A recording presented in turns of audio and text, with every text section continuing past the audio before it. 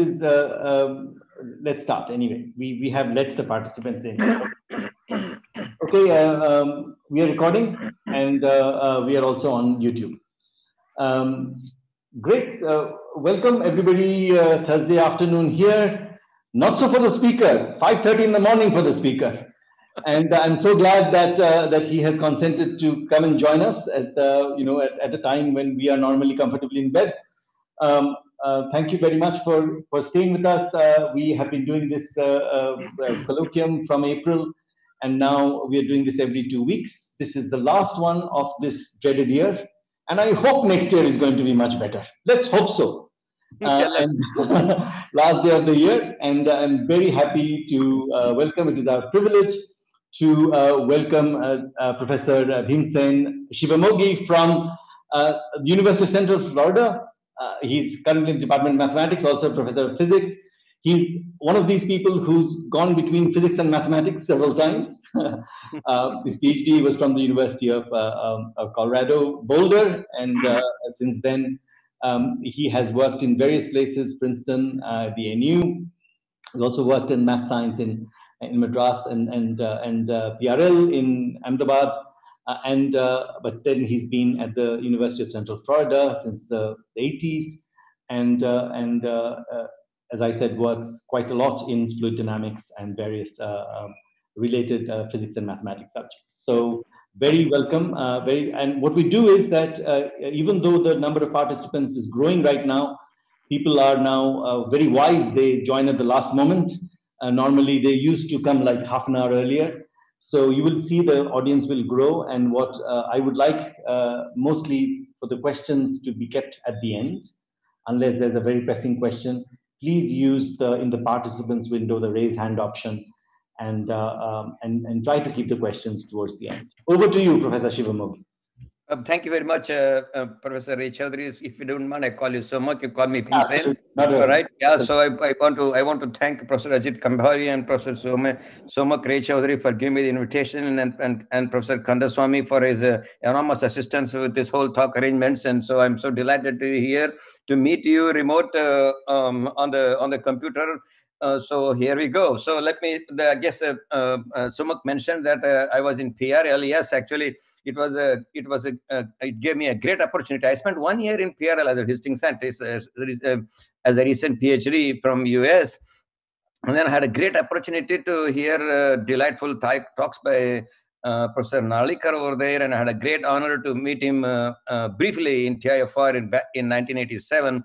And I want to mention that Professor Narlikar is my all-time role model for a great inspirational scientist and an unmatched, unpretentious person I've met anywhere.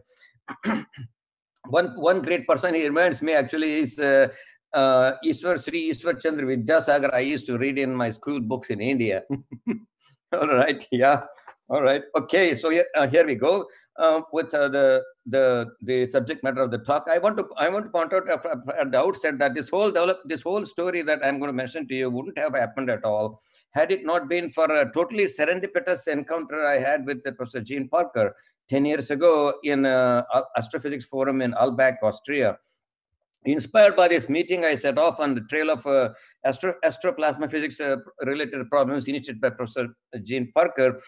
the guidance and encouragement he gave, Gene gave me uh, uh, kindly, so kindly and constantly. I got no idea why he got interested uh, in spending time for me. They were all very crucial. So it felt reassuring to hear from him every, every once in a while that I was on the, I was on a good track.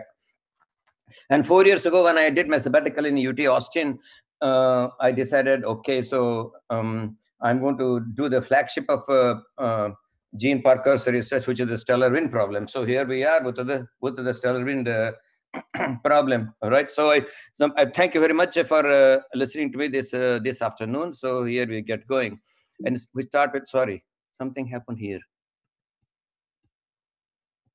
Okay, great. We got that. All right. So this start with uh, Gene Parker's uh, uh, uh quotation from Nature Astronomy 2020. This uh, was uh, this was put soon after the first set of results came back and anal were analyzed from Parker Solar Probe. And then here Gene goes says an unexpected result from this initial um, measurements at 35 solar radii and beyond was the presence of this large and persistent component of uh, plasma flow in the tangential direction in the same sense as the solar rotation. So, uh, so apparently uh, the, the, the probe discovered that uh, the solar wind is going uh, at a tremendous rotational speeds around the sun um, and up to up to distance of 35 solar radii and then uh, Gene uh, with his uh, enormous insight into the whole thing he, he, he, predicted that this will impact our understanding of how stars the crucial question of how stars lose their angular momentum. And this is the issue that i would venture to uh, make some remarks on that. I want to thank a, a whole lot of my expert friends who uh, who who who who gave me who gave me considerable amount of uh, advice and input and guidance uh, as I as I as I uh, uh, dug my way through this, and Gene Parker, of course, being the the at the top uh, I want to discuss. Uh, so, guided by this uh, Parker Solar Probe uh, data's uh, latest finding, I want to discuss the role of azimuthal stellar wind flow and the associated uh, centrifugal driving scenario on the stellar rotation mechanism. I want to point out that until now, the main the stellar rotation mechanism was basically thermal driving, which was proposed in an ingenious way by Gene Parker. And for this purpose, I want to go one step beyond the uh, Gene Parker and then consider the uh, Weber-Davis extension of uh, which is the MHD extension of uh, Parker's model. For the case when uh, magnetic field, uh, so the stellar magnetic field happens primarily is primarily radial, as near the surface of a star, the Weber-Davis slow magnetosonic critical point actually becomes a Parker sonic critical point. So interesting things, uh, interesting simplifications happen, seem to happen.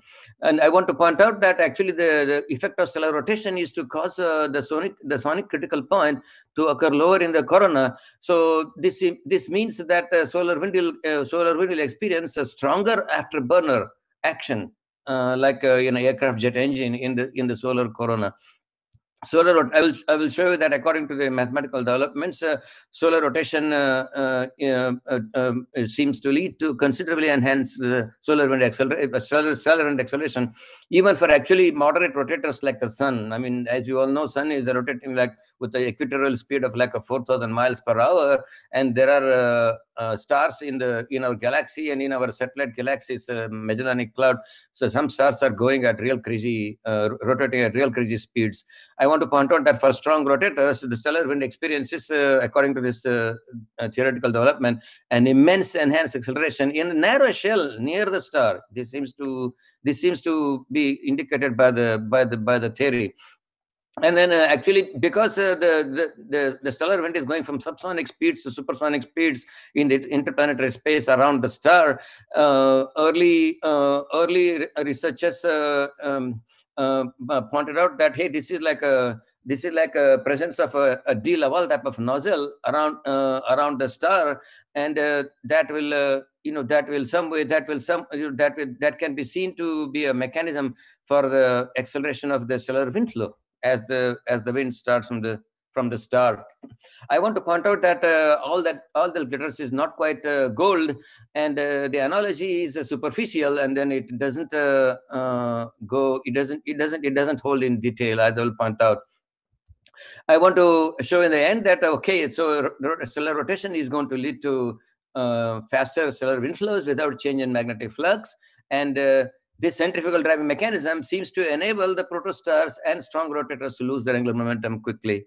So let me start with a, a little basics. Uh, please uh, pardon me if I if I mention something too elementary for the audience. I just want to point this general talk I developed, so I just want to uh, go over this uh, in in, a, in, in the usual fashion.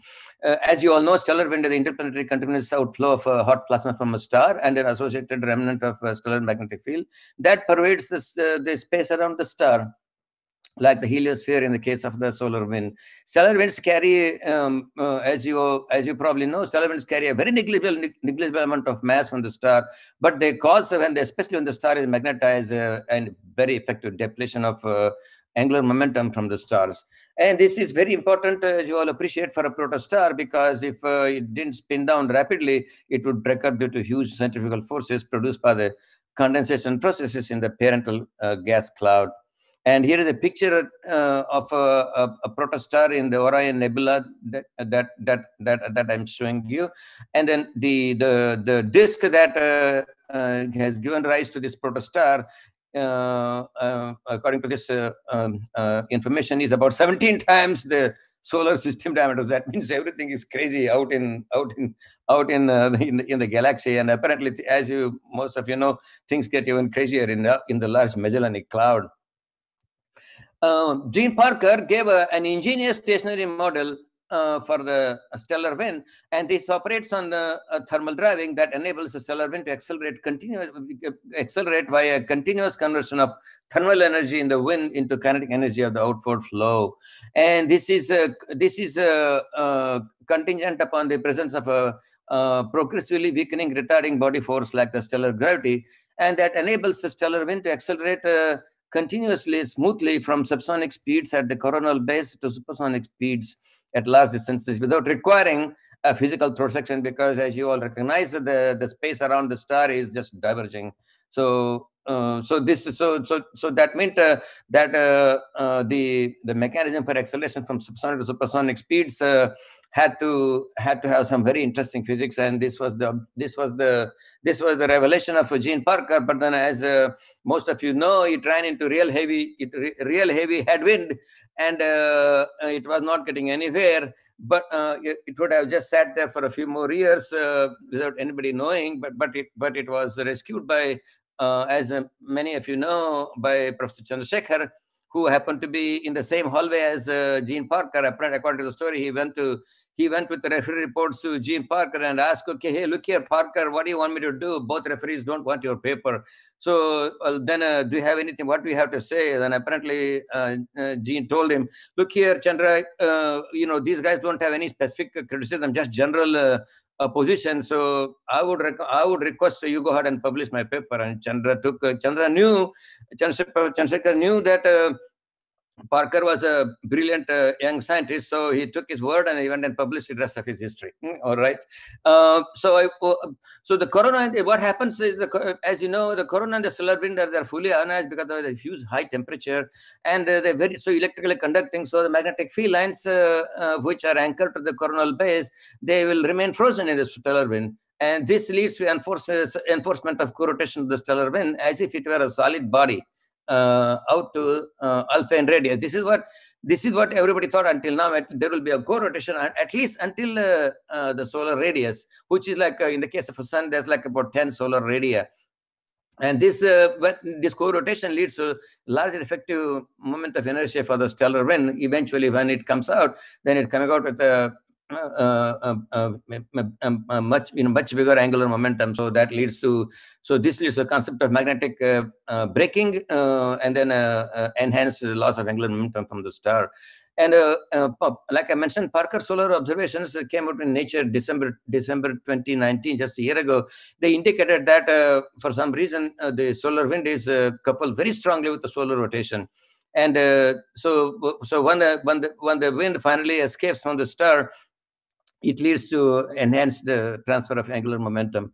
The MHD version of uh, uh, the, like I mentioned, Parker's hydrodynamic model was was uh, uh, uh was uh, briefly considered by Modisette and then systematically done by Weber Davis and then further on by Belcher and MacGregor. To this will this will this gives us the one a handle over the treatment of magnetized stellar winds. And I want to I want to discuss here the role of azimuthal wind flow associated with centrifugal driving in the Parker Weber Davis model and uh, this will show this will this will this will turn out to indicate uh, that that the enormous uh, acceleration of the stellar wind is going to happen. Um, um, so let me start with a few remarks on Weber-Davis MHD model. In the Weber-Davis MHD version of the Parker uh, model, star is assumed to have a monopole magnetic field. Well, there is no such thing as monopole as you all recognize, but then uh, this is a theoretical simplification. And the monopole magnetic field is assumed to lie uh, in, a, in the equatorial plane and depend only on the latitude. For the case of the sun, actually the solar wind pulls the sun's, uh, and if you know sun's multipole magnetic field into an open radial configuration with a few solar radii from the sun, sun surface, this uh, configuration roughly resembles a split monopole actually uh, with opposite polarity above and below the helios heliospheric uh, current sheet roughly at, located at the equatorial plane of the sun.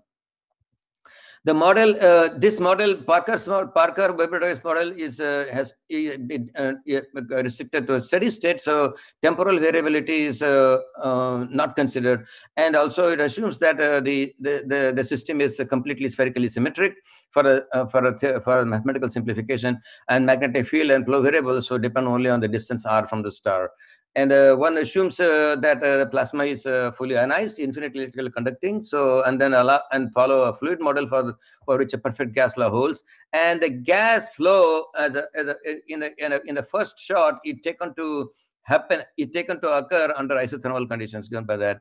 And I want to point out that the isothermal assumption is really not terribly, according to Gene Parker, is really not terribly bad assumption.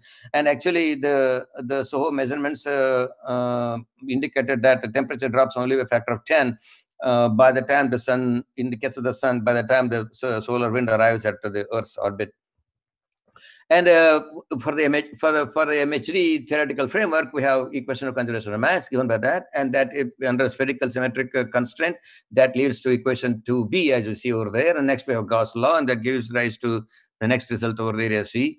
And then the Ohm's law uh, is given by that. And then the, the right hand side typically eta times J, the current the, the current density. Eta is zero, the infinitely conducting situation. So you we end up with uh, that the, that statement over there that you see. And this in conjunction with the Faraday's law, the right-hand side is missing over there because it's a steady situation. And when you combine this, we get this uh, equation that you see over there, 6a. And then you break it up into the cylindrical uh, polar coordinates, and then that gives us uh, this uh, story, this, this result that you see 6b near the coronal base, uh, anchoring the uh, where all magnetic field lines are anchored. Magnetic field is primarily radial, primarily radial. So, which means uh, uh, the the previous uh, statement over there simplifies to the what you see in 7a and then simplify further to 7b. Now, this immediately implies that in the space fixed, uh, space fixed frame, magnetic field lines ex exhibit a, a, spiral pattern, and then these are the famous Parker uh, spirals, and they they were confirmed by the magnetometer data in the in the 60s. And physically, this is due to the near radial dragging of the inter, inter, in the interplanetary space of solar magnetic field lines tied to the tied to the uh, the, the, the the star by the by the stellar wind. And uh, um, actually, uh, the solar magnet in the case of the sun, the magnetic field observations shown that magnetic field lines are in fact uh, uh, they found to become more and more tightly wound uh, as one moves away from the sun. This is the picture from uh, one of Parker's articles of the of the Parker spirals. And now go to azimuthal angle momentum balance. So azimuthal component of momentum equation, which is you see over there in uh, 8, uh, equation 8. And we combine that with the results that we get from Gauss law and the conservation of mass, and that gives us this statement over there. You see, L is the total angular momentum. If there is no MHD uh, stuff going on, then you just have R times Vp equal to constant. That is the hydrodynamic result. And in the presence of uh, uh, MHD uh, uh, action, we have a we have a we have a hydrodynamic component and the magnetic field component to the total angular momentum. So L is the total angular momentum, like I mentioned, all right. And then now we can uh, uh, uh go back and solve for uh, the azimuthal uh, velocity and then uh, the the azimuthal magnetic field component, and they come out to be that. And you notice at the at the point where ma is the the Alfvén Mach number, which is radial speed or divided by the um, radial component of Alfvén velocity. So at a point where uh, m the uh, the Alfvén Mach number goes to one, this these this uh, these two formulas will go will break down unless uh, we demand that at that location L is equal to omega star r r square that you see over there. And then that gives rise to this situation over there. So basically, this implies that uh, you can now you can now take the, the take the the length RA as like a like a lever arm of the magnetic field torque, so this means that uh, the uh, in the Weber-Davis model, the total angular momentum per unit mass in the stellar wind is determined as if it's a solid. It is a it is a it is a in a solid rotation up to at least until the Alfvén radius Ra, where uh, Mach number uh, the uh, Alfvén Mach number is equal to one. And then so using this uh, using using using this result L equal to omega star times Ra square, the expressions for azimuthal component of uh, uh, velocity and then and magnetic field, they they now they now take this form. And you notice uh, that uh, according to the second formula over there, um, the azimuthal component is always less than zero for all uh, distances for all r so which means magnetic field lines are actually trailing spirals uh, as you anticipate uh, just just like a thing that you, you expect uh, if you had a if you had a uh, if you had a if you had a sprinkler on the on the on the lawn with with with water coming out and then now next go to the radial momentum balance, radial, radial component of momentum equation, uh, which is now given by this. And then uh, uh, the if there is a azimuthal uh, uh, flow happening in the wind, then you so you see a centrifugal correction to the flow acceleration on the left hand side. Then uh, we have the the the pressure radial pressure gradient, and then the, the the the the gravitational force due to the star, and then the next it is a Lorentz force contribution coming from the MHD effects.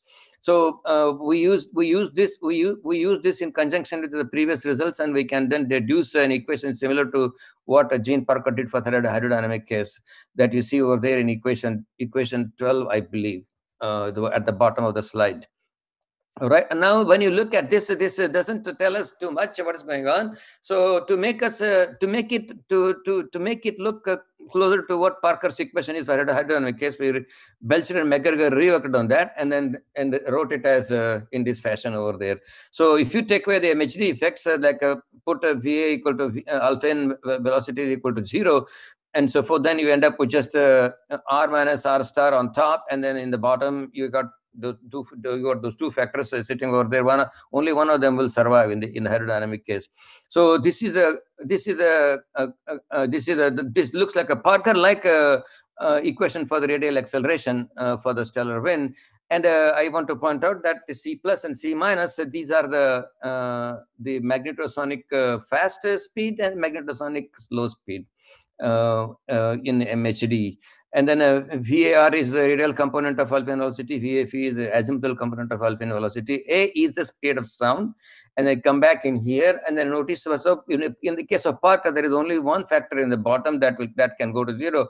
But for in MHD case, there are two factors over there can go to zero. So the, the, the, the, the theoretical picture becomes a little bit more complicated in general and but i want to in order to in order to simplify this uh, complicated expression so to to make progress with the uh, with the uh, with the analysis of the basic physics in the stellar wind. So what so what i decided what i what i decided okay take a look at the the, the location near the near the star surface.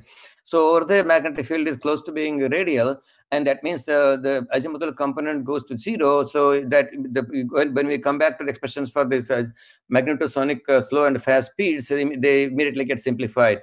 The fast speed becomes Alfvén radial Alfvén velocity. Slow speed becomes just the speed of sound. And then uh, uh, when uh, when this is the case, and then the then the the the angular momentum expression that we had here a while ago. Let me take it back. That is over here, right there that is over here. So when B is zero, then that that that this implies that V must be equal to omega star times r, so which is rigid body rotation.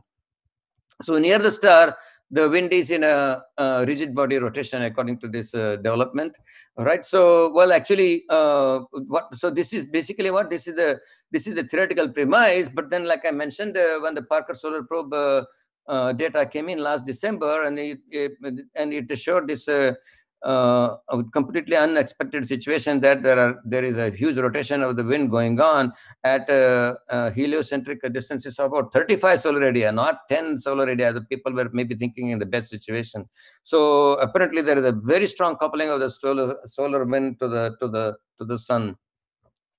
And uh, but so so so we, we, we take this we take these simplifications and then this complicated equation over here 18 it becomes this simple story that you see over there. So what you have over there, basically, if you drop the azimuthal, uh, uh, um, uh, um, the wind uh, contribution over there, it is just R minus R star in the in the top and VA, VR minus V VR square minus A square in the bottom.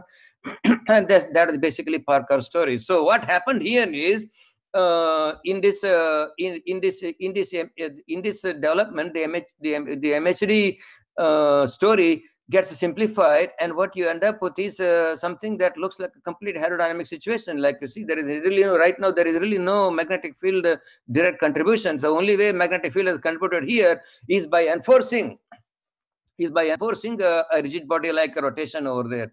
So this is a kind of an interesting situation. So uh, so in the so in so so in the in the in the uh, in this theoretical framework, the MHD uh, the only effect of MHD is to uh, is to is to introduce a co-rotation of the uh, stellar wind. So basically, that means uh, once you put in a co-rotation, we can say goodbye to the MHD. So this is kind of interesting situation, like uh, Uh, uh, like uh, like it it has it has been encountered uh, many of you know in two cases. One is in uh, uh, dielectric physics uh, which is you introduce a test charge in a in a system of charged particles and then the, the, the, the test charge is going to attract particles of opposite charge as you all recognize and then these particles of opposite charge will go will go towards the test charge and will then cling to it and will pro and then we'll uh, uh, uh, develop a shielding around the test charge.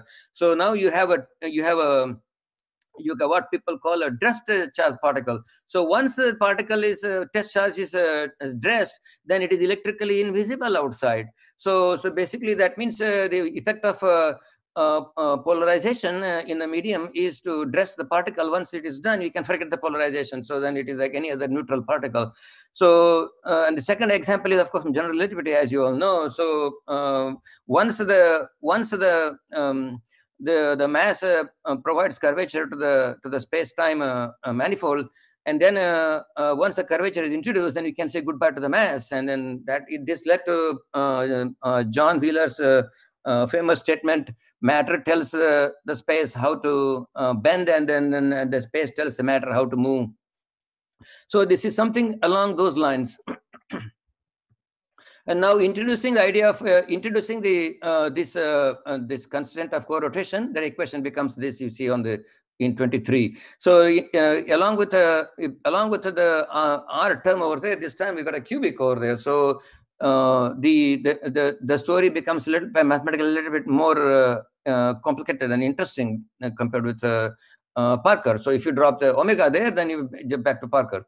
And then R star over there is it locates the Parker's sonic famous Parker sonic critical point. And I want to point out that R star locates those of you who know it, who haven't known it. R star locates the point where the gravitational energy of the stellar wind is roughly comparable to the thermal energy. So there are two are in balance. Okay, I, so like I mentioned, uh, so in this uh, uh, development, MHD effects may be viewed to be included in the Parker hydrodynamic model in the first approximation by just a co-rotation of the stellar wind out to, let us say, the, the, the Alfvén radius.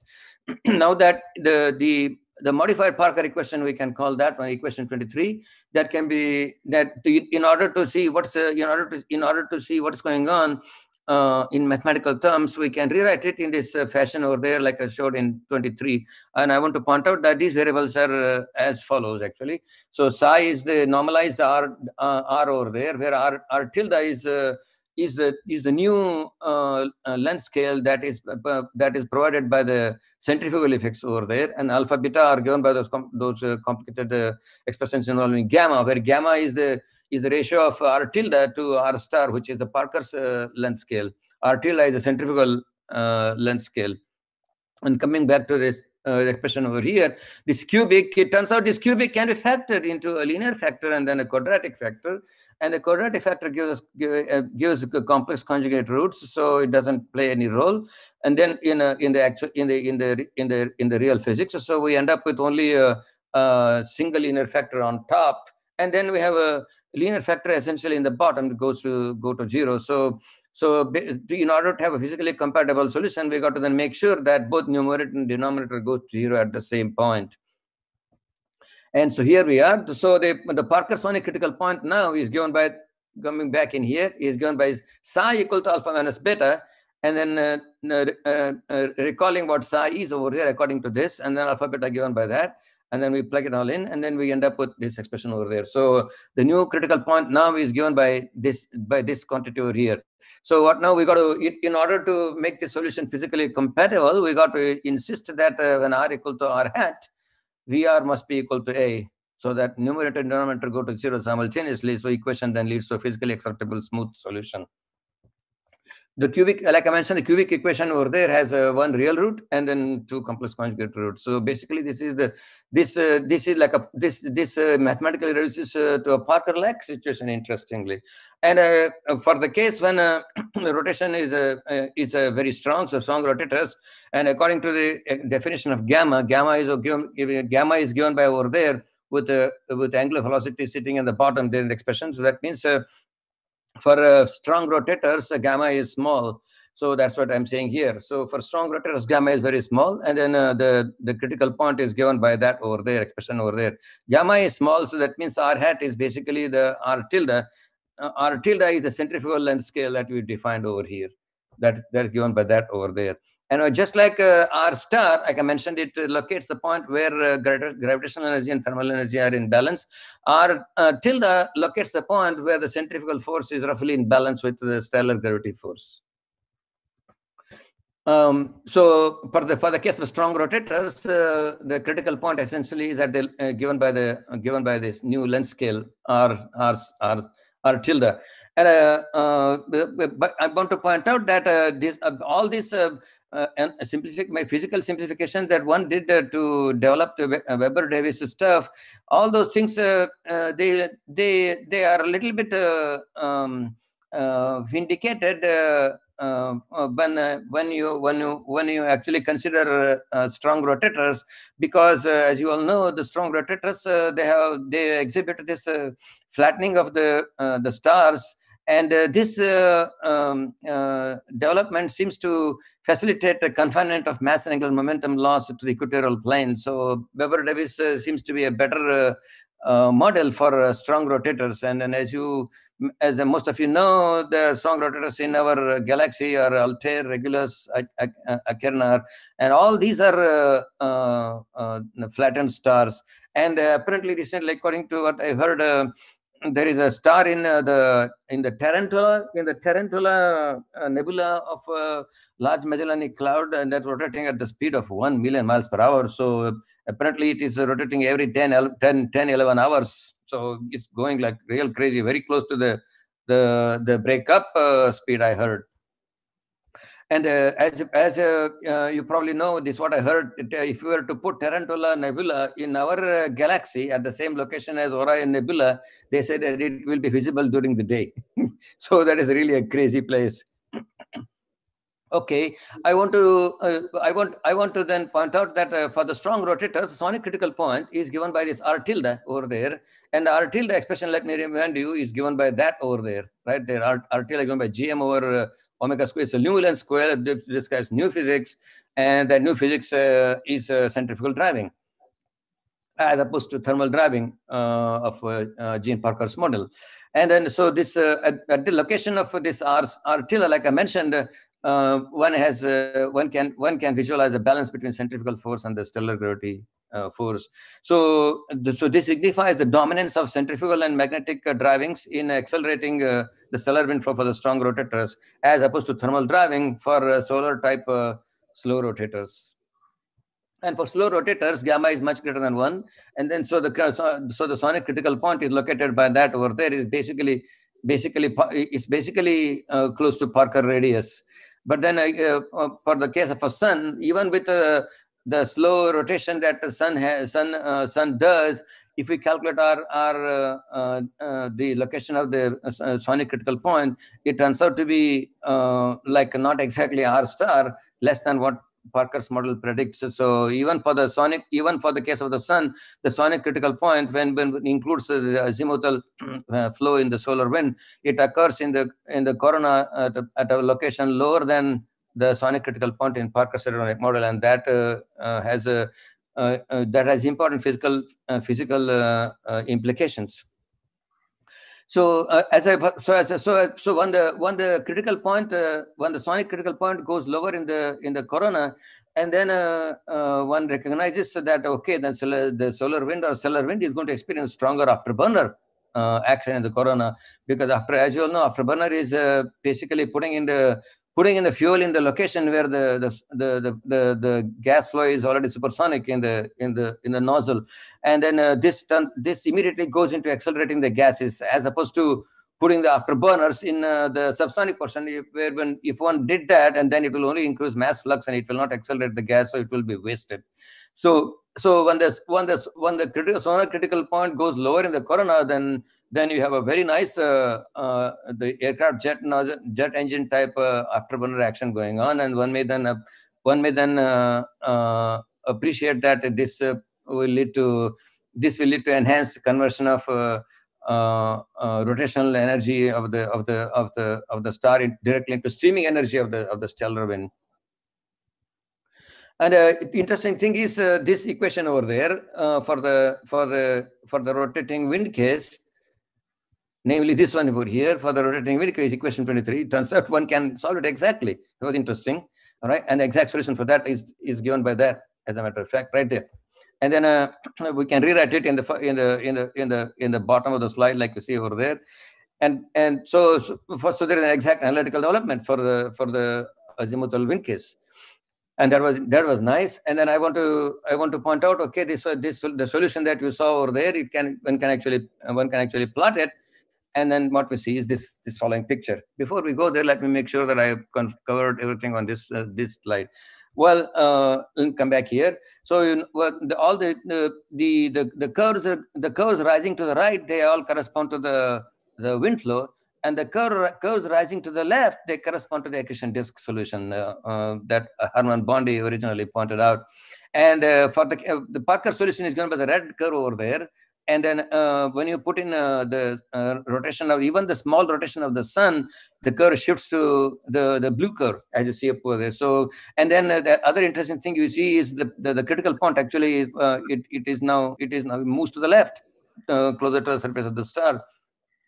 And then so if we go to the so for, for, the so so even for the case of the sun there's a considerable enhancement of sol, solar wind speed because of the the uh, whatever little rotation sun has. But if you go to strong uh, rotators, uh, like uh, let's uh, uh, gamma equal to given by that, and then the the curve, the the so, the the stellar wind speed curve you see over there, it like shoots up like a rocket.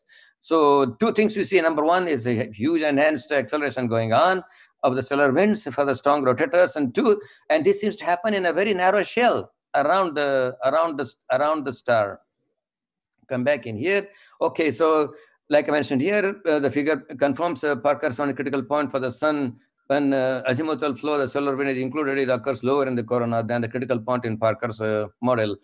All right, okay, go to the strong rotators when gamma is much less than 1, equation 23a, that equation over here,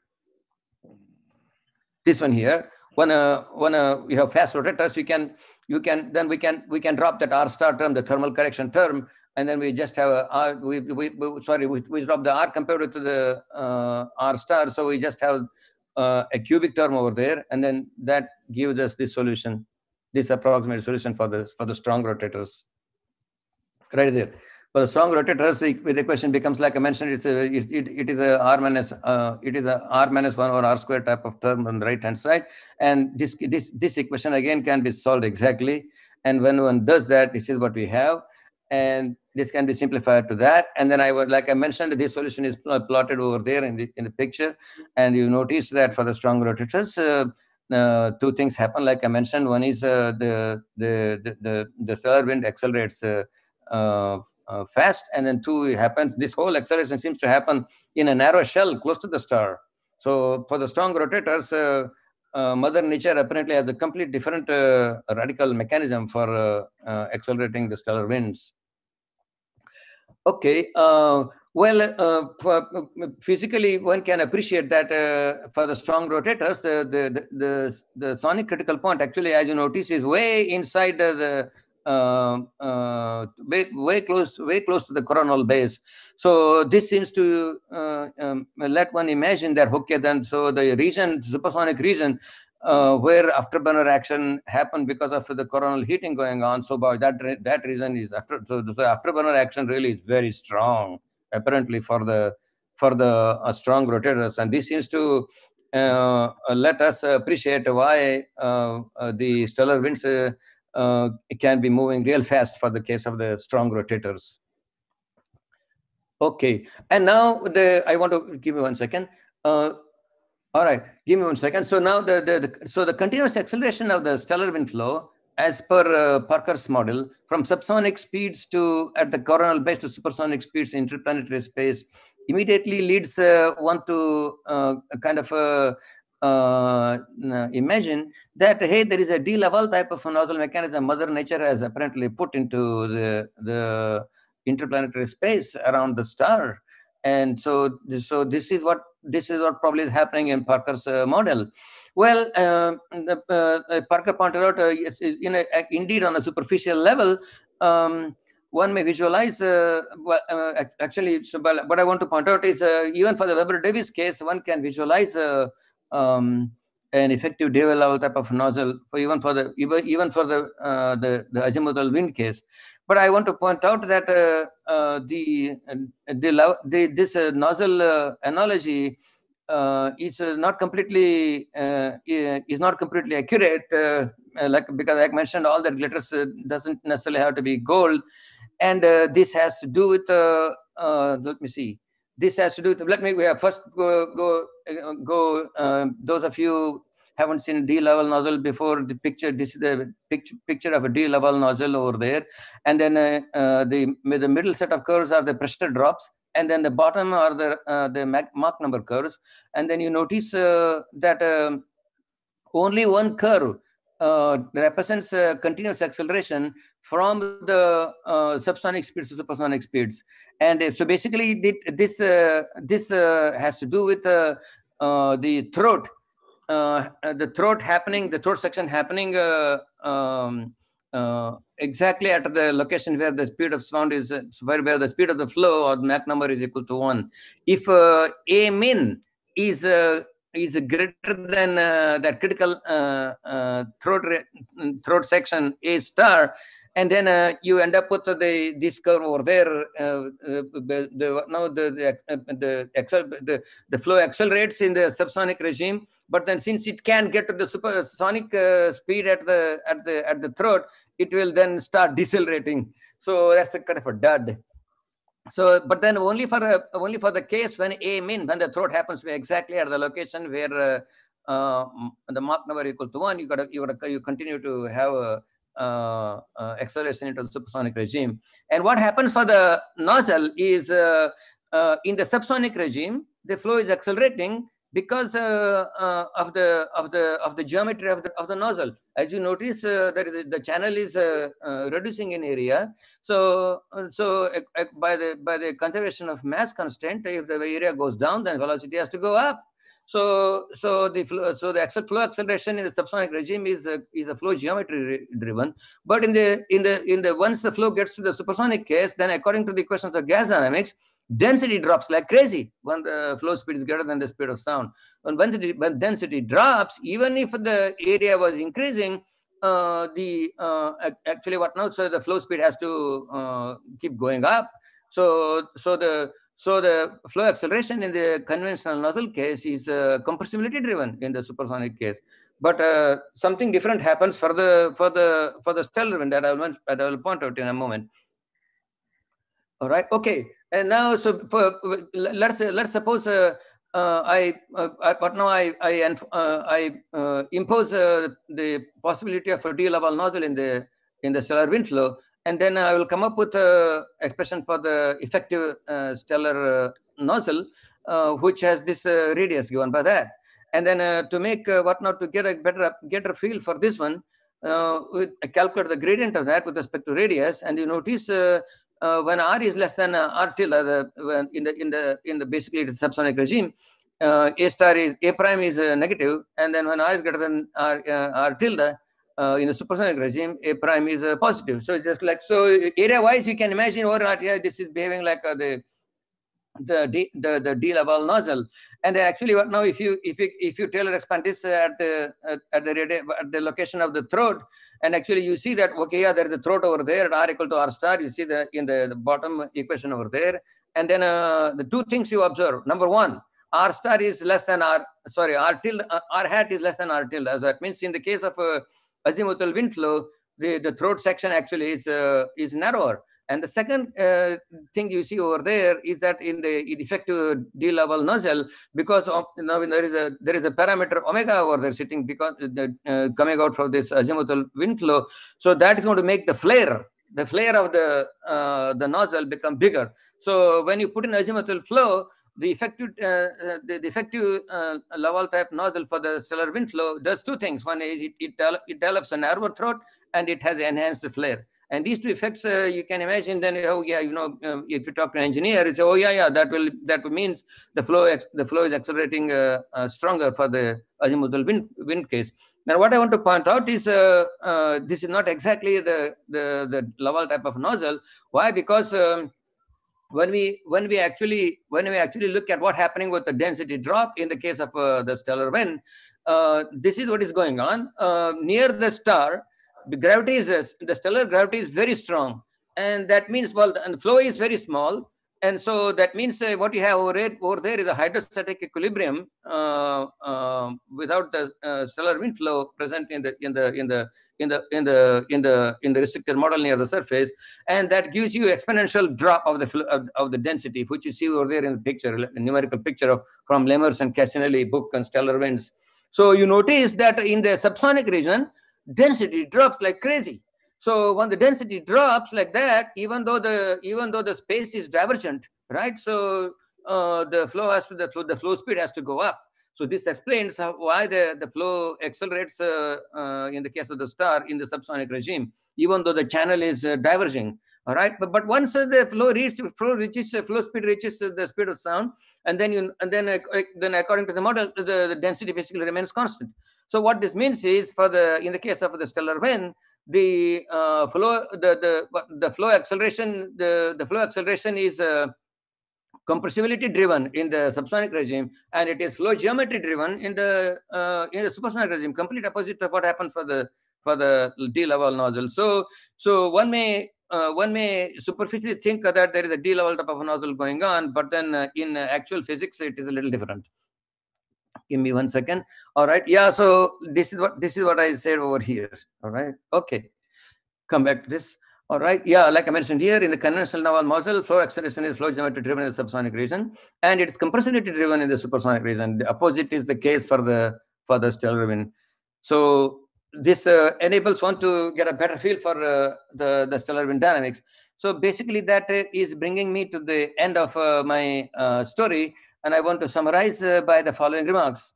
And I want to mention again that uh, Parker came up with the ingenious demonstration that uh, the stellar wind, due to uh, because of the progressively weakening retarding body force like gravity, it evolves from subsonic to supersonic speeds, even in a purely divergent nozzle. There is no contraction expansion going on like in a, a, standard rocket nozzle in the interplanetary space this all this all happens uh, because of this uh, because of this interesting uh, dominant action of the stellar gravity near the surface of the star. And that that uh, forces uh, uh, effect that that forces effective nozzle like action happening. Even if the area cross section over there is is not at all going down and now, because of the dominance of magnetizing effects or thermal effects uh, away from the star, so uh, one has to one has one really has to um, consider effect of uh, interaction of uh, stellar magnetic field with the with the with the stellar wind and uh, uh, the, the, the, the, the, a useful model in uh, in in the in the in this research activity in Weber Weber Davis extension of Parker's model, and then uh, uh, I used this to, with the aim of uh, clarifying the role of azimuthal wind flow in the stellar wind stellar rotation braking mechanism. And I've shown you that the stellar rotation, according to this development, it seems to cause a sonic critical point to occur lower in the corona so this uh, would then uh, enable us to appreciate that stellar wind will, as a result, experience stronger afterburner action in the corona, and uh, it will make possible considerably enhanced acceleration, even for we saw, as we saw from my curves. So even for moderate rotators like the sun, there is a non-negligible enhanced acceleration happening for the for the solar wind. And for the strong rotators, there's a completely, completely new ball game going on. This thermal driving of Parker is no longer uh, uh, Uh, what now uh, uh, competitive over there. So we, actually, what is going on? What is happening now with the new physics that is based on the centrifugal driving, and then apparently that the new mechanism is able to boost the acceleration enormously. And apparently, this happens in a very narrow shell adjacent to the star. So for the well, so I, I pointed out that uh, for the this happens because for the strong rotators, the sonic critical point is uh, uh, determined only by uh, unlike the thermal driving, where the sonic critical point is determined not only by the gravity but also by the uh, the the speed of sound. And now for the centrifugal driving, it's determined by uh, the only by the two quantities: the mass of the sun sorry, the mass of the star, and then uh, the angular velocity. So the so the conditions in the environment, like the the speed of sound, aren't aren't part of aren't playing any uh, role here at all. So that means uh, this uh, uh, centrifugal uh, the centrifugal length scale is is basically constant around the, the, the star, unlike the uh, the Parker uh, uh, length scale, which can change from point to point around the star because of different Uh, uh, sound speeds and I want to. Uh, so I, I, showed you that actually, if one if one uh, uh, imagines the effective de Laval nozzle around the uh, around the star associated with this uh, stellar wind flow dynamics, and then this this effective nozzle would have a smaller throat and a and a larger flare, and both of which would indicate an enhanced flux flow acceleration in the in the centrifugal driving mechanism. And I also pointed out that um, the level the, the, the nozzle analogy however should not be taken uh, 100% because uh, uh, it only does it only does it only maintains some certain similarity but in in the but with some details like density drop uh, things happen uh, uh, differently. So the, net, the, the the the net result seems to be that the stellar rotation actually causes tenure, ten, faster stellar wind flows and this provides uh, an efficient, this seems to provide an efficient mechanism for protostars and strong rotators to lose their angular momentum quickly. So I'm hoping that, uh, so the, maybe this is what uh, Gene had is, in his mind when he said that uh, this uh, enhanced, enhanced rotation of this solar wind that the Parker Solar Probe uh, detected will impact our understanding of how the stars lose their angular momentum. And then I, my proposition is maybe uh, this is um, this is this is one clarification. And uh, i want to point out that if, uh, if one wants to go into the detailed quantitative uh, comparison of this uh, the theory with the stellar wind observations i just want to point out that because of two things going on one is difficulty of accessing even the coronal coronal base conditions along with the along with these um, um, these uh, uh, drastic simplifying approximations that one has to do in theoretical formulations in order to uh, get the theory moving further. So um, difficulty of finding, difficulty of doing observations, and then uh, uh difficulty in making the keeping the theory general. These two things together uh, kind of discourage one to make a, quantitative comparison, and then or even to even qualitatively say, okay, all right, yeah, this mechanism is going to be responsible for what's going on. So all these things uh, uh, I would propose that they are just these are all just uh, propositions at this point.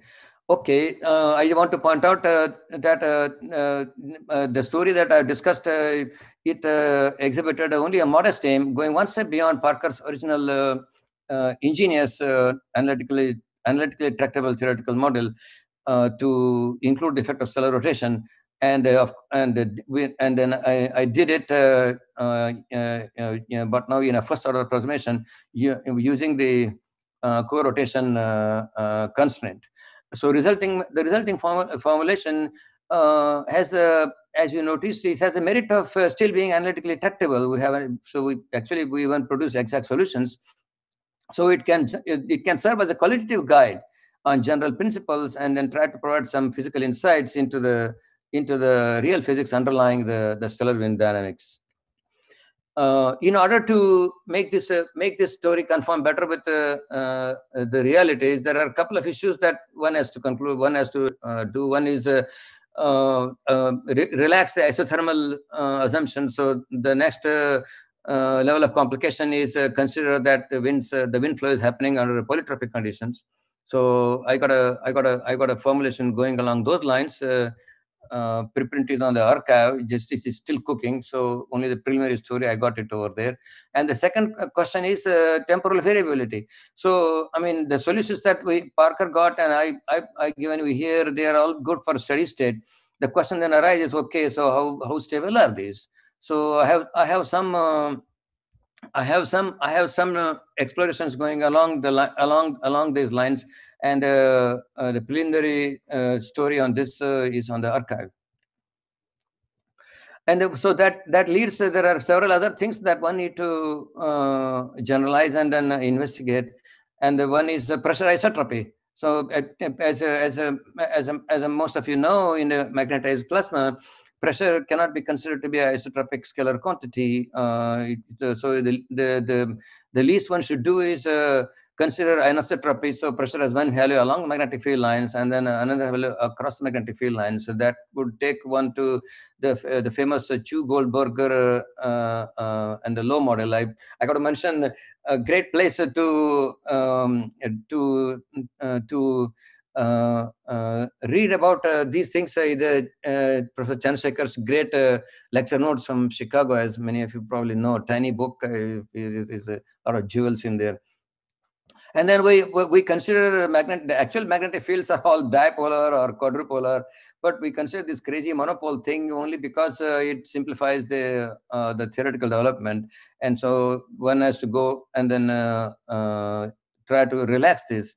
And, the, and then there is this uh, spherical geometric spherical geometry spherical symmetric geometry that we consider everything depends only on the distance r. And so this is not a very good thing to do. And so one got to consider deviations from that and uh, one one also needs to recognize at some point okay what's happening with the details of coronal heating so there are there are a lot of the stories that there's a long way to go uh, so but then this is only a, a, a beginning to i'm going to I'm going to end my uh, story with uh, this uh, great uh, uh, inspirational uh, quote from a famous applied mathematician Jerry Whitham from Caltech. He wrote, a, as some of you know may know, he wrote a monumental book on linear nonlinear waves back in in the middle in the in the middle 70s. And the last paragraph in this in this book, he he he makes these remarks and uh, this is he's talking about this chapter on the the latest uh, discussion of latest uh, uh, uh developments in nonlinear uh, evolution equations and soliton solutions and those things. So he says, in concluding this chapter, one can only comment on the remarkable ingenuity of the various investigators involved in these recent developments. The results have given tremendous boost to nonlinear phenomena in general. Doubtless, much more of value will be discovered. Not least is the lesson this is what Jerry Whitham loved, and I like that too. Not the least is the lesson that exact solutions are still around. They're not gone yet. So that means one should not turn too quickly to a search for the small parameter because in the 70s, perturbative techniques uh, something which kind of uh, dampened uh, uh, Puritans like uh, Whitham. So he was discouraging people to jump into the uh, perturbation stuff too quickly and but then in the now in the, the last 20 30 years as you know this computer is has, is a, is a similar threat to the analytics as perturbation stuff was in the in the in the in the 70s in the 60s and 70s i guess. So not the least is the lesson that exact solutions are still around and one should not always turn too quickly to a search for the small parameter epsilon or i added in the bracket computer. So i want to thank you all for your uh, enormous generosity and and uh, and uh, and and uh, and a uh, collegial gesture to give me the invitation to come and do the talk and i'm so delightful about this uh, opportunity and uh, i want to end my show and uh, request thank you again for your patience and then request you to ask me questions and i will try to answer Thank you very much. Thank you very much, Bhimsen. I mean, I, uh, this was a, a, very fascinating talk, and I'm sure people will have questions. I'm requesting everybody to um, to unmute, the, to raise your hand in the uh, in the participant window, and I'll ask uh, I'll ask you to unmute yourself. Meanwhile, while we're waiting for this, can I ask you one thing? I mean, I, you mentioned uh, Chandrasekhar's famous book on ellipsoidal figures, And here you also showed that if, if things are moving this fast, like 600, 700 kilometers per second, they will be significantly flattened. So the exact solutions that you use, are yeah. you using ellipsoidal coordinates at all, or are you still in no? Actually, the, you know, the, this this is only providing a qualitative justification for assuming that uh, all the interesting things are happening in the equatorial plane.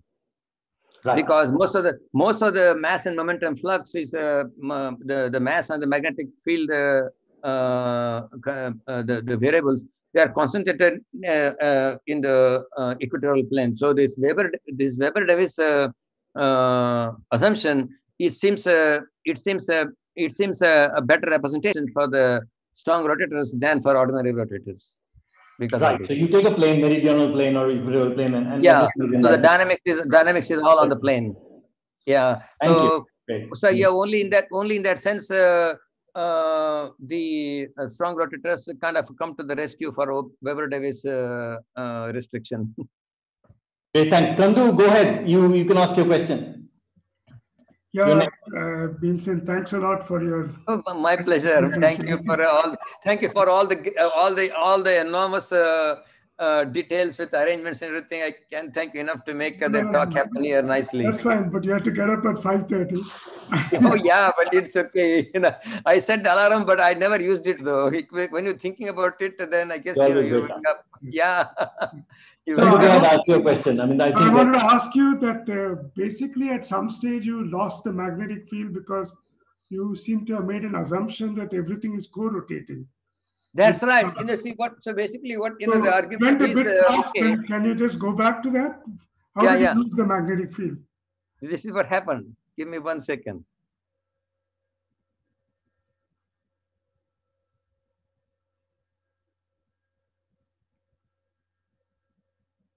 Right there. So you see, near the stellar surface, B phi is zero. So that means V phi has to be equal to omega star r.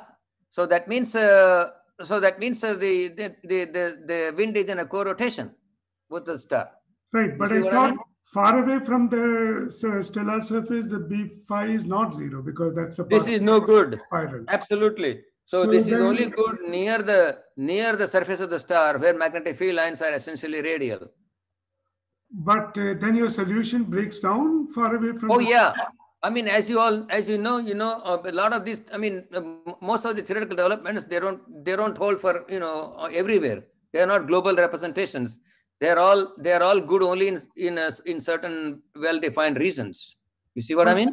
Yes, but you should be able to have a co-rotation at least until some Alfvén radius or something, right? Yeah, it, that's what you know. That's what everybody thought until the uh, the Parker Solar Probe data came last December. Everybody thought that okay, this is probably good until so you know uh, Alfvén radius, but which was like a, about a ten uh, solar radii. But then uh, Parker uh, Solar Probe uh, uh, measurements they indicated, oh, this is not just good for ten, it's up thirty-five solar radii. I see. So, but do you, do you then explain that or you don't explain that? Well, this is just like a, this is just like Einstein's story, uh, special relativity. You see what I mean? So as you all know, uh, Michelson-Morley experiment came and then uh, uh, pointed out that there is no such thing as ether. All right, so they, he cannot find it. They cannot find it. So, well, everybody then, you know, as you know, everybody was, you know, in Europe, Lorentz, Fitzgerald, all these guys were uh, frantically trying to come up with ad hoc explanations, you know, uh, uh, how this can, how this can, how this can happen. But uh, Einstein was not interested in in uh, in resuscitating the old ideas. He said, "Forget everything. You just forget everything. You just uh, you just start with the new new uh, story that there is no ether." And then so that means that they didn't have to do any of this crazy, you know, length contraction, time dilatation, all this crazy stuff. They don't have to do any of those. So I guess you know, so uh, so you kind of release one from uh, you know doing all those uh, crazy concoctions, and then enabled one to go directly attack uh, uh, what's happening. But then Einstein never explained why there is no ether. You see what I mean? So he said that's for you guys to uh, to deal with. All that I all that I want to do is start with the premise there is no ether. So all right, the rest is rest rest is the story that that I'm giving you. So um, I would propose uh, that we, we will talk about things in a similar sense. Here I say, okay, all right, there is going to be there is going to be co-rotation. All right, okay, all right. Then uh, how exactly the co-rotation happen, all the details, I leave it to the other gang. Right. So you are assuming co-rotation in the solution and then getting everything else. Well, I'm not completely assuming because it's, it's, it's given by the equations of MHD anyway. So only, once only near the stellar surface, not that's right. That's right. Once once once uh, once I uh, once I got that from the MHD equations, then I say, okay, all right. Yeah, the Parker story, the Parker solar probe has now shown that this is good for not just 10 but 35 solar radii. So okay, so then we can go and do it at least until at least beyond uh, 10 solar radii. Okay, thanks. Thank you. No problem. Does anybody have any any other questions? I didn't see any other hands up. This is your last chance. last chance of the year. People are already yeah, that's right. December 31st. to ask a question in the colloquium. Anybody else? Just waiting. I, I don't know. I'm not. Uh, I don't have the YouTube window in front of me. I don't know whether there are questions there. Mm. But uh, uh, um, if uh, uh, Indulekha has her hand up, Indulekha, go ahead. Indulekha, please go ahead. I've just unmuted you. Yeah, it was too tempting that offer of the last question of the year. last chance. this, this, this comes from the observational side. Uh, this radial nature of the uh, magnetic field. Like mm-hmm. if, if you are, I don't know whether the flare field would have the same kind of uh, geometry, uh, but uh, Zeeman effect is supposed to produce a broadening of the Balmer lines mm-hmm. uh, in flare fields. So, and uh, I think along and across the field, uh, the Zeeman effect is different. Mm-hmm. So would that be a way of tracking uh, the field geometry? Well, you know, as in, uh, as I mentioned, uh, this this this whole development is uh, severely restricted by this spherical spherical symmetry assumption. You see what I mean? So actually, when you talk about solar flares and and then uh, dynamics near coronal holes, as you as uh, as uh, most of you know, that the, the the spherical symmetry assumption is a very bad thing near those near those over there, because uh, the expansion is no longer uh, uh, radial; it is super radial, according to according to what people know. So this whole spherical symmetry assumption is is no good for for uh, uh, talking about uh, quantitative details of what ha what happens near coronal holes and where people also tend, seem to think that flares happen. Oh, the the field is not strong enough to produce any effect. Um, I remember reading something about looking at the polarization at the two edges of the line and um, well, you know what yeah, you know, you know what, what all that I can say is uh, near coronal holes, the spherical symmetric assumption is uh, is known not to be good. So then uh, actually one has to deal with uh, uh, deal with uh, super radial geometry. So so that means that means it is it, one one cannot write the conservation of mass equation like rho times v times r square equal to constant. So it's going to be r to the power two plus something something else. It's super radial. Okay. So, Thanks. Yeah, so, so I think what, what, what is being said is that that particular observation can't be actually addressed by this formalism. Yeah, absolutely. You know, this is this only like I mentioned, this this whole thing is a, a one step beyond Parker, and then this is only good to uh, get a qualitative uh, uh, idea about okay, what is a stellar rotation going to do to the acceleration of stellar winds. Okay, next, uh, let's go on to the next question, Dipankar Bhattacharya. Uh, hello. Hello. A very nice talk. Thank you very so, much. Uh, my question was related to angular momentum loss in stellar wind. Mm -hmm. Magnetic is a major factor in the mm-hmm. evolution of stars. Mm -hmm. And uh, given the fact that I, that we have this new uh, Parker observation and mm -hmm the solutions that you have now produced, mm-hmm. does it predict that, given the stellar winds that we know from uh, stars in general, mm-hmm. that the angular momentum loss rate that we normally assume needs to be revised? Oh, well, yeah, of course. You know, if you if you are not taken into account the effect of stellar rotation on these winds, then you have to revise because absolutely because physical mechanism is no longer uh, thermal uh, like in Parker's model, but it is centrifugal. So, do, do you have some idea by what factor this revision might be? Uh, I cannot give the numbers, but as you see, as you saw from my from my from my uh, solutions, the uh, the the the acceleration of the stellar wind uh, it happens rapidly and then happens in a uh, um, very narrow region near the star. So it is it is it is it is really a a very strong accelerator.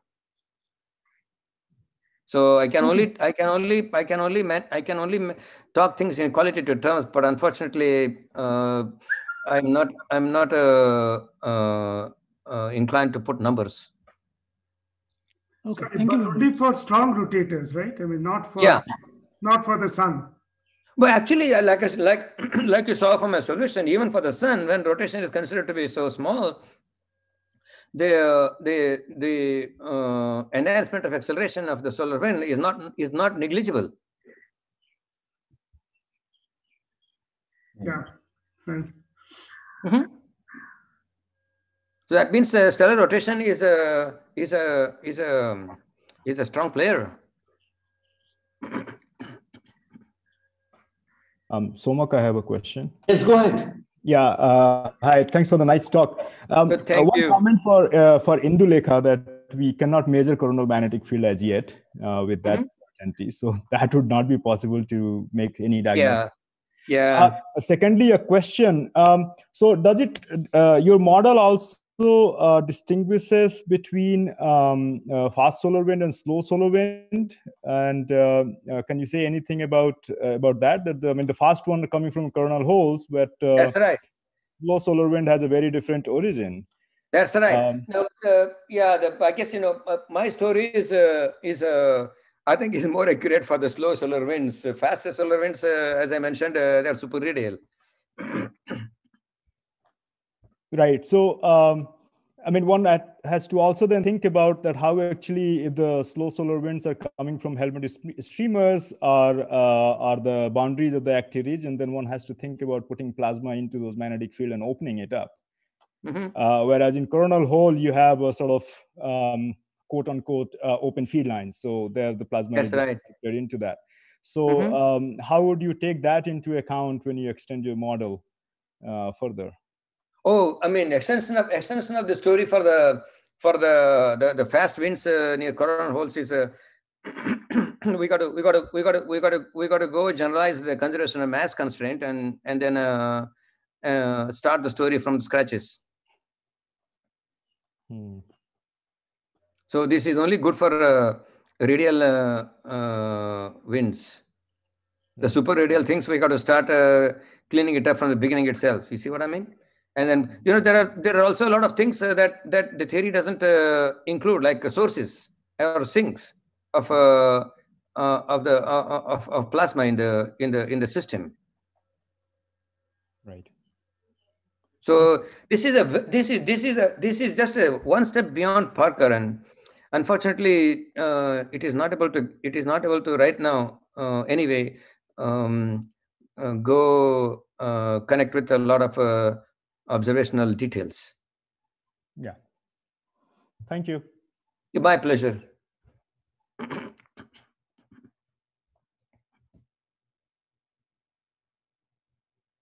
Uh, Somak, you are muted. Somak, yes. Indulekha really wants to ask the last question. So Indulekha, again, I've unmuted you. Go ahead. Yeah, I just wanted to know there are these uh, observations on stellar clusters where they say the uh, uh, main sequence is broadened due to fact that there is differential stellar rotation rather mm-hmm. than um, you know uh, a, a delta yeah, in rotation. Mm-hmm. Yeah. So, would you have any comment regarding that? You know, stars in the same cluster having different rotation rates. This is in. Uh, That's right. It, it complicates it complicates uh, it complicates introducing rotation uh, altogether. You know, so then we have to come up with appropriate models for uh, differential rotation and then uh, uh, and then uh, modify this uh, development to uh, reflect them. You see what I mean? Mhm. So then instead of instead of omega star uh, instead of taking omega star to be a constant for the whole star uh, uh, for stellar surface, then we got to put in uh, some models for uh, uh, the spatial variation of uh, omega star. Okay. You see what I mean? So I guess in principle, in principle, it could be it could be dealt with, uh, but uh, because uh, I haven't looked at the details, I'm not I'm not I'm not able to uh, say exactly okay what happens. Okay. Thank you. Great. So if, there are no other questions, uh, uh, thank you very much again. My your- pleasure. your. I I Thank you. appreciate the invitation and I thank you all for giving me such a great audience and and the encouragement and support. Discussion. Thank It you. just feels